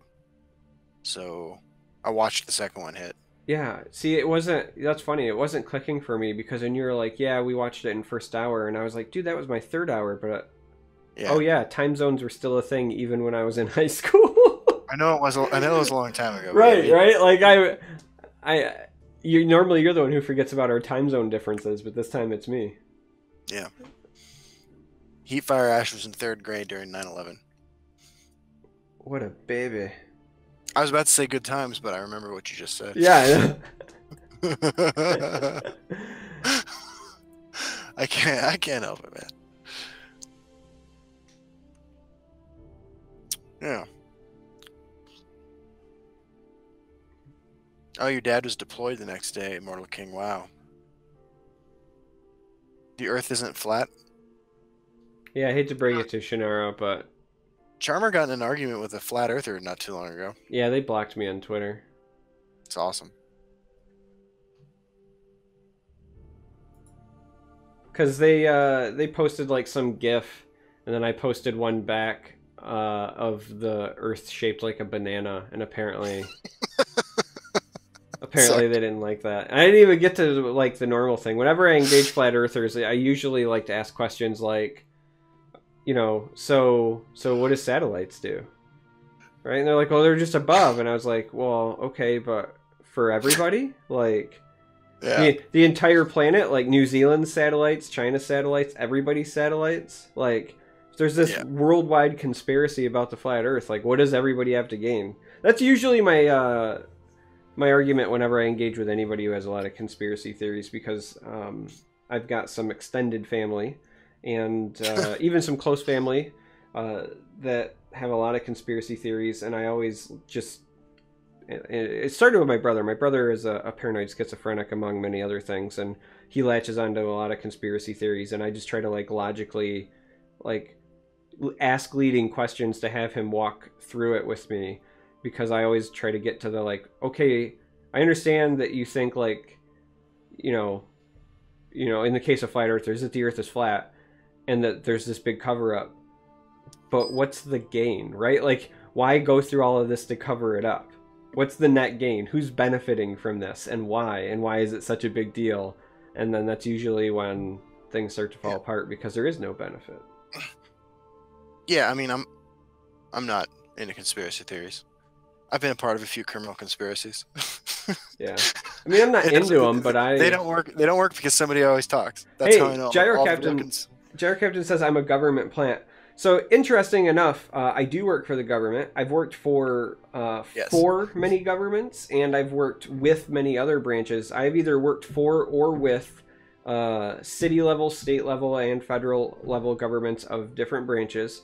And I can tell you, as somebody who uh, works for and with them on a daily basis, that if there are any government conspiracies, I am shocked. I am utterly shocked because the other stereotype is that government is usually uh, inefficient and ineffective, and that's been my experience. Like I, I let me let me put it this way, right? I can sit on a conference call with the IRS, for example, and most of the time I'm not thinking like, oh, these are people capable of some grand level cover up. It's usually like I don't know how they still have a job. like it's so right. bad. Oh. Yeah, so I, I may very well be a government plant, but I'm living a pretty meager life for having access to the Illuminati, I guess. Dude, we picked a poor time to air our podcast. Like, I, I didn't realize that the Warp Meta tournament was going on right now. yeah, it's a podcast. Yeah. They can consume us later. That's fair. Are you rooting for anybody to uh, get the last spot in this championship series uh, next weekend? To get the last spot? Ooh. I don't feel like I'm allowed to root for anybody since I'm casting the tournament. Hmm.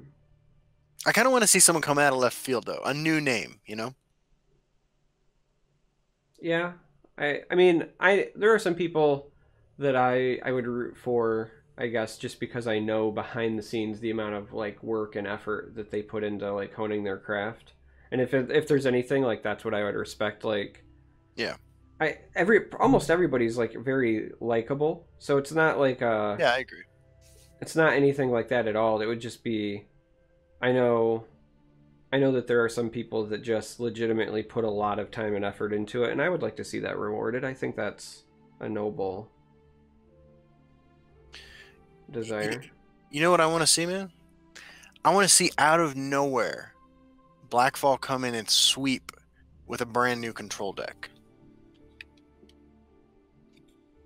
Yeah, I don't think that's going to be a thing. No, it's not. But I'm trying to be as outlandish as possible because well, I don't want to say like, someone's name is in the tournament. like legitimately though, I'm I'm being serious now.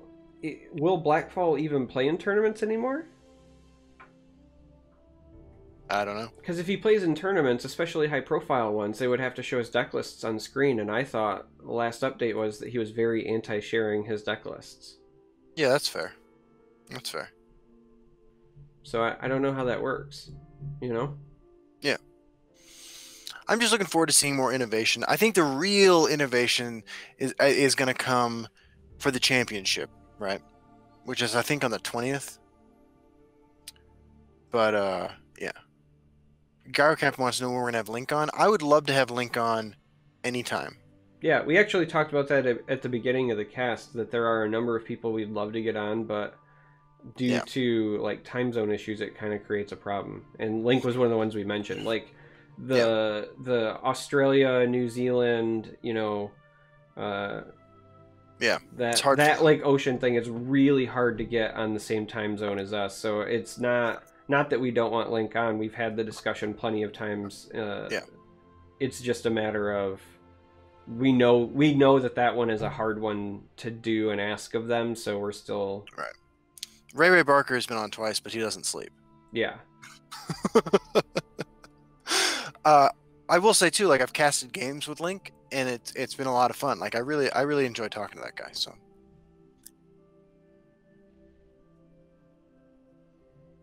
Yeah. Gyro Captain knocking it out of the park with these questions tonight.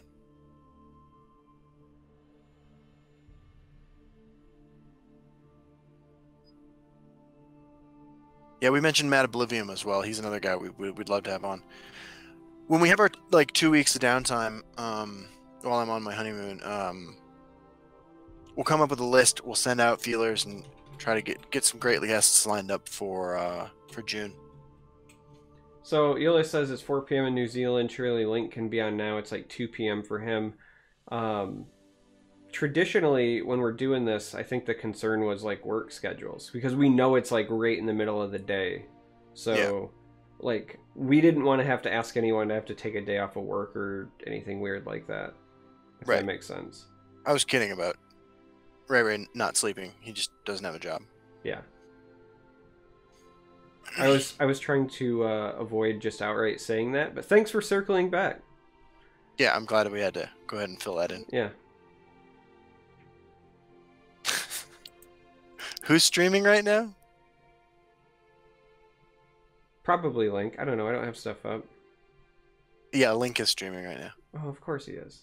Well, Yeah. That's another reason why we can't do it. I don't know. But again, it's oh, and it's Saturday. See, we always screw that up. Yeah, I Well- really, I struggle to remember what time the podcast starts because Tom Yeah. Karma's all like 10:30, and I'm like, what the fuck? Yeah. Well, Because we live the- like uh, a, thousand miles from each other, right? I mean, yeah, it's a long ways. yeah, Well, like I said, it's it's not uh, it's not something that we have not discussed in the past. yeah.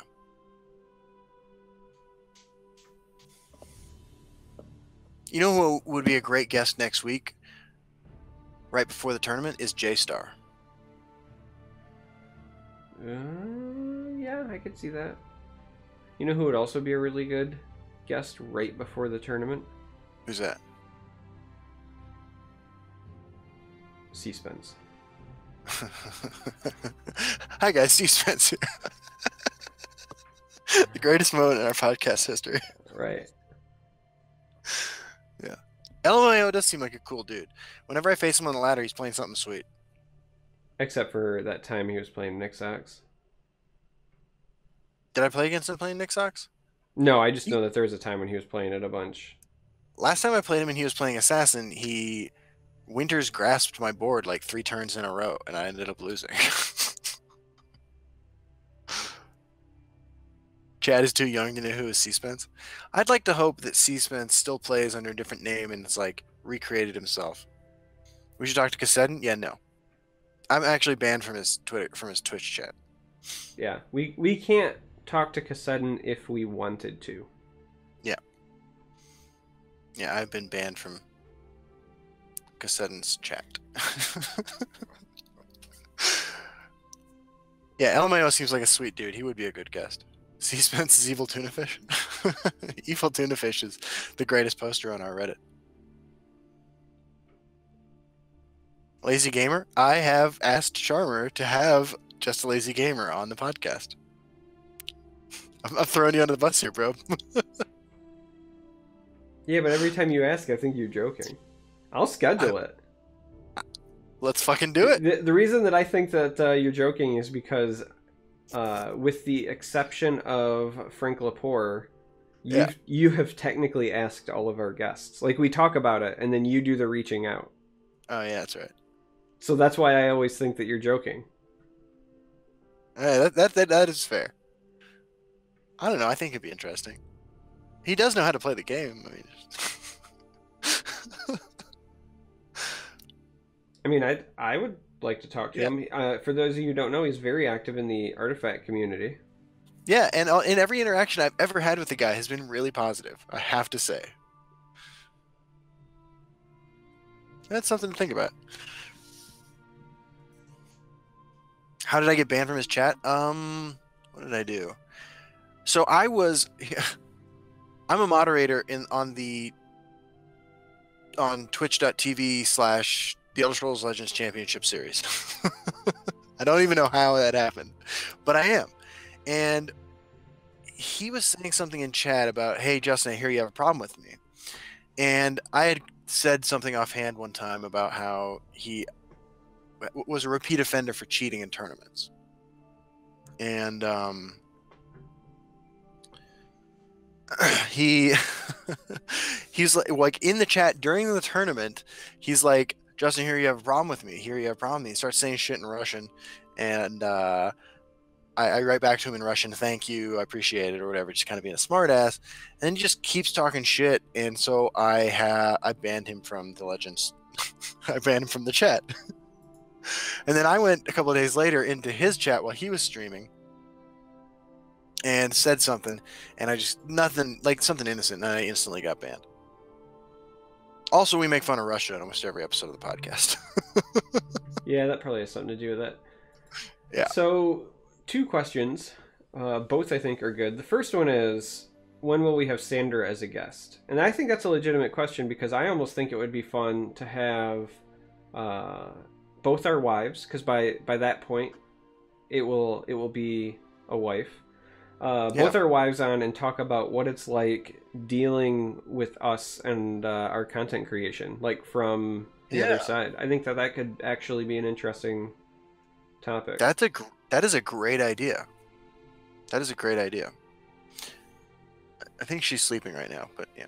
yeah. I know I know my wife is sleeping right now, unless one of the kids is up or something. But Yeah. I think yeah, that no, that's a good idea. Yeah, because I mean, I think that a lot of people forget that content creation and stuff like this affects other people. You know? That's true. That's true. I mean, my whole my channel was her idea. Yeah. That's a, that's a great idea. We will do that. We in June we will make that happen. Yeah. I remember when I first started streaming, uh, I think my wife thought that I was like trying to talk to cam girls or something. She was like, "Why are you talking to strangers on the internet?" Nice. And I was like, "No, really, I swear, it's this nerdy thing. You can watch me if you want." But Right. she's she's been on my streams in the past. Like if you go to my YouTube, you can actually see my wife playing games. Um, Right. I stand by this. I say this all the time, but I stand by this. Uh, the best video period on my YouTube channel is her playing the Slenderman game. Um, it's only got like I think maybe 150 views now, and I'm probably 130 of them because nothing makes me laugh harder than that video. So That's awesome. um, and then so the other question was, uh, where was it? Oh, uh, Elis asked how you cheat in a tournament, and uh, in the instances uh, specifically referring to Kassedin and what occurred, um, he was routinely caught. I say routinely meaning like multiple times, um, where he would submit a deck list and then he would be playing cards that were not in his deck list. Yeah. Right? So like you submit a deck list, that's the deck you're supposed to play for the tournament, and then you know, you you play something not in your deck. Um, Right. Now, arguments it- can be made about whether or not, like, even if that's even beneficial. Um, I know Well, one it- of the times it happened, somebody said like that card objectively makes his deck worse. It Um, was it was Journey to Sovngarde one time though, which made a Yeah. huge impact on how his opponent was playing the entire Yeah, game. one time. I just mean one of the other times I know that was an argument made like if he's trying to cheat, he's doing it poorly, blah blah blah. Right. But the point is is like it happened more than once. Like, you know, if it happens and also it uh, I don't want to go into too many details, but like every time it did happen, there was uh, uh, a lack of humility like I would expect like like if it's me for example, uh, and I can only speak to my own uh, I guess experience or uh, desire, right? But like, if I submit a deck list and maybe I submit it incorrectly as an accident and error, right? Let's, let's just say Right. it's, it's not me trying to cheat. Right. Um, i if that ends up happening, right? If it comes up, then I apologize profusely. Uh, I forfeit the game, like before even anyone asks me, right? Like I'm just gonna say, like, "Hey, man, like this is 100% on me. Clearly, like I'll take the loss here," and then uh, I certainly like double and triple check my shit going forward to make sure it doesn't happen again, right? Like that feels to me like if you're if it's an if it's a true honest mistake, those are the things that should happen, right? Like you apologize a bunch, you say like, "Hey, you know what? Like I take the loss here. That's on me, my bad." And then you double and triple check your stuff. Um, none of those things were happening, so Yeah. Yeah. His reaction to it was like super, super fucking toxic too. so Uh, the new Legend card back looks fucking amazing. It's absolutely gorgeous. I love the combination of colors, and I'm excited to uh, get it.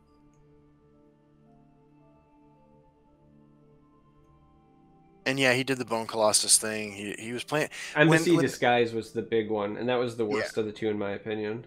Yeah, when those bugs were active, he was playing both in the same deck. Yeah, Ozzy says in one case he was streaming during the tournament that he was making a change his deck. Yeah, like I said, I didn't want to get too like in the weeds uh, details, but let's just say that it's a, it's not like a, you know, oops, my bad. Like it's a, it's a history.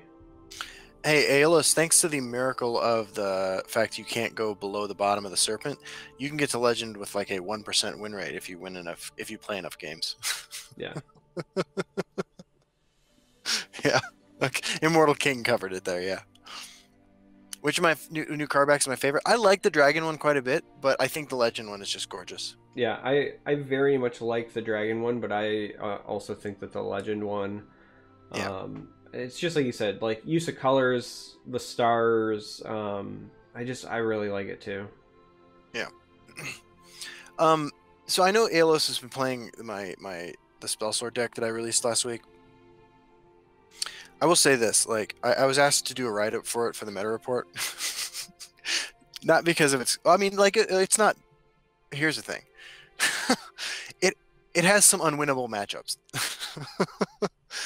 it, it's it can it can win against a lot of things, and against some decks, it's really favored But one of its unwinnable matchups is uh, Battle Mage, Giant Battle Mage.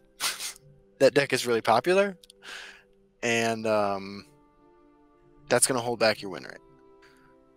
Also, part of the reason I think my win rate was so successful in the early game, and, and when I started playing it, is people saw battle or saw Spell Sword and assumed uh, control and mulliganed incorrectly.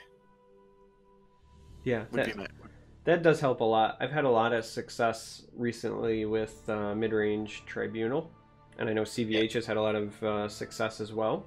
Yeah. and that's just because um, one, there's a lot of really good tools there, right? I mean, you take mid range sorcerer, and then you jam Yeah. in like hive defenders and Cloudrest Illusionists and things like that, and it's just gonna be still really good. But on top Yeah. of that, it's really mm-hmm. helpful when people mulligan for the control matchup. yeah Yeah. i mean i think i definitely won some games in the back of that additionally like it's a it the variance is super high with it because the the curve is super greedy and if you have the ring like in my experience with the ring that deck's win percentage goes way up because the curve is garbage you know and look it's a lot of fun to play uh, but it's not i don't know it's also not really user friendly Hey, call back to an earlier topic. I just retweeted Lazy Gamer. did you really Well, he gave out solid advice. nice He just Yeah, was like I en- said- encouraging everybody to make sure you join the melee, uh, even if you can't play the games, because if you win zero games, like if you're if you're busy at work or you're doing whatever, sign in, enter the event, and then just don't play. Even at zero wins, uh, Yeah. you the thousand gold is the same as if you bought ten packs, but you also get the alternate art, right? Like it is a you only you only gain right with this event there is no reason to not do it in my opinion. Right. opinion I totally agree. Um, what was all the drama on Reddit with the PM me? I don't really, I don't know if I want to get into that to be honest with you. i mean the, the short version two eagles is it wasn't necessarily drama um, Yeah, somebody was making some poor choices and it resulted in them uh, at least being temporarily banned i don't know if it's going to be a perma ban or not that's up to reddit mods but yeah, two months ban right now. Yeah i don't i don't know details i just work here Yeah. Mid sorcerer is great. I think that burn the skies list is really strong. It's a heavy pur- purple um sorcerer list. Let me video. let me ask you this does his list run worm king agent No, well then it's It- wrong it uh, the curve stops at uh, Nahagliiv and Bone Colossus. it doesn't even run Ancano? Maybe it does. I can't remember. I don't think I ever played Ancano if it does. Yeah, well, let me just say, if it doesn't run Worm King's agent, it's wrong. I stand by Yeah. that. Look, I love uh I love Worm King's Agent as much as the next guy, but I didn't have a lot of experience with the archetype, so I didn't want to try to build a deck. that said, I, I did, the, did exactly that with Mid Range Warrior. But to be fair, I've played a lot of like a lot of aggro orcs. Like I used to play that deck a lot until Warrior got popular, and then I didn't want to play aggro Warrior anymore. Um, in fact, orcs might be the most aggressive deck I've ever played. until I did this. aggro That's week. not true. I remember very vividly you making a prophecy battle mage video that didn't go over so well. yeah, that was that was one of the most disliked things I've ever done. Yeah. For those of you who don't know what we're talking about, Worm King is I- not meh. P- PDMD. I I live and die by that. It's so good. Yeah, Worm King's agent is strong. Um, Zombie Hunter 9 by 19. Do I think that I might work Fleeting Apparition into my Telvanni altar list? I want to. I, I'm getting closer and closer to jamming Fleeting Apparition into a deck. Uh, I, th- I think I said during my set review that this was a card that I would get to eventually. But then I needed to work my way through like the most obvious strategies and, and then start to get to more esoteric kinds of things. And um, Fleeting Apparition's on my list.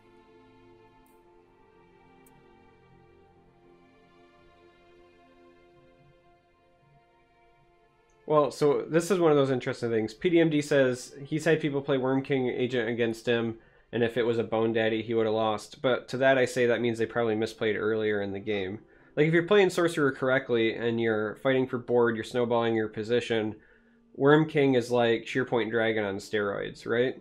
Like It can be, Sor- yep. Sorcerer just doesn't have a lot of like really good tempo plays where you're shoving a body on the board while also removing a threat and Worm King does that for you kind of twofold.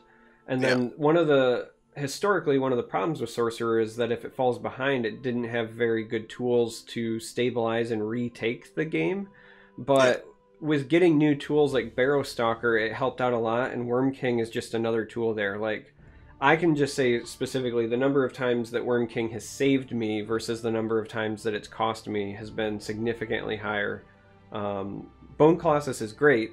I don't fault people for running it, but the the times, uh, like I I've nicknamed uh, Bone Colossus Hand Daddy lately because like the times that it has sat in my hand because it just either wasn't the right play or quite frankly I just didn't need it has been significantly higher than in the past. So Yeah.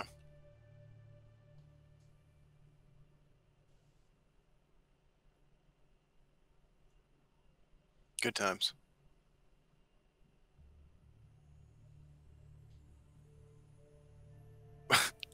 We've reached that part of the show now. you fading? I am, dude. I'm just. I just like I like that good times is your unofficial like old man I'm I'm getting tired thing because that's what happens. You you fill your awkward silences with just good times, which is Yeah. really like I say groovy a lot.